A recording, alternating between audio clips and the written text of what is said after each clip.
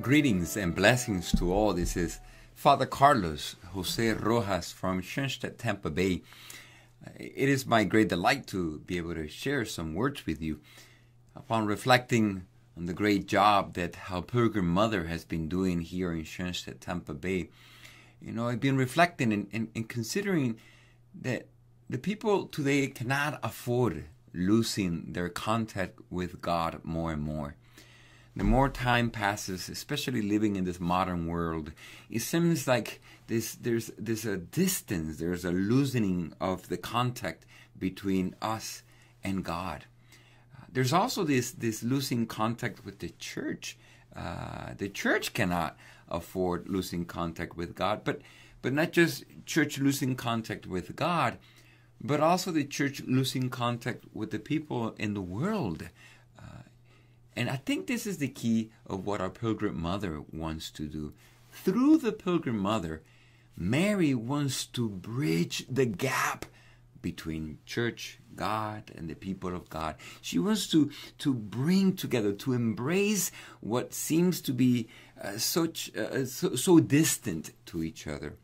Mary wants to come to our homes. She wants us to bring the experience of church in our homes. She wants us to bring the experience of God into our homes.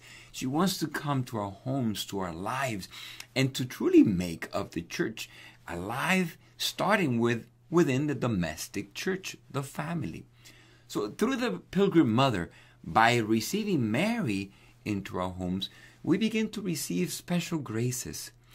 It is uh, well known in the family of Schoenstatt that when you visit a shrine, a Schoenstatt shrine, uh, you receive three very special graces. This grace of feeling at home, the grace of inner transformation, and this grace of fruitfulness, of apostolic fruitfulness. Those three same graces our Blessed Mother wants to bestow through the image of the Pilgrim Mother. Really, it's our Blessed Mother, as it is described in Luke chapter 1, verse 39. Mary set out and went in a hurry to the hill of country. Uh, this is the visitation. Our Blessed Mother wanted to visit the, uh, her cousin Isabel. But that same spirit of Mary who goes in haste, goes to the country hillside, to the rocky mountains, that she wants to be out there and bridge the gap, is the same mother that wants to work in our lives today, especially in these modern times, where more and more we feel this distance from the experience of God, from the experience of church, and the church distancing itself more and more from the people of God. So we need our pilgrim mother. We need her intercession. We need the special graces that she bestows in the original shrine of Schoenstatt, in the daughter shrines of Schoenstatt, and that she wants to bestow through the pilgrim mother.